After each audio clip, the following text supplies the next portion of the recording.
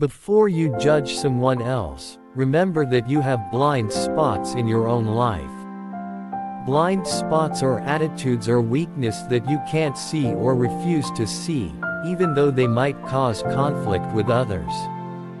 For instance, you may be constantly argumentative and not realize you keep turning conversations into debates. Jesus says that when you feel the urge to judge someone because of their blind spots, think of it as an opportunity to uncover your own, and to address them. Jesus talked about this in the Sermon on the Mount. Why do you look at the speck of sawdust in your brother's eye and pay no attention to the plank in your own eye? He's saying, How dare you?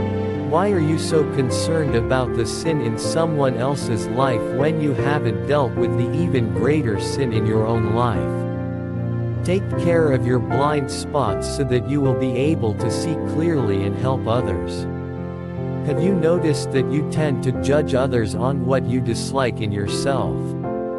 For example, if you know you're lazy and you don't like about yourself, you're likely to see it more in others and judge them. If you're prideful or greedy, you tend to spot that quickly in other people. Whatever you struggle with, you'll notice in others more easily.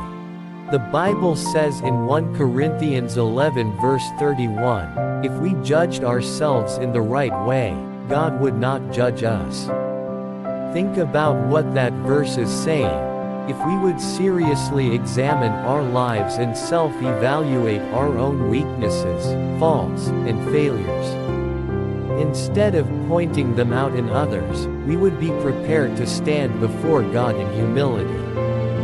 God is for you, not against you. He already knows your blind spots, and He wants to help you resolve them so that you can mature in your faith. God bless you. Type, Amen, if you have faith and trust in God.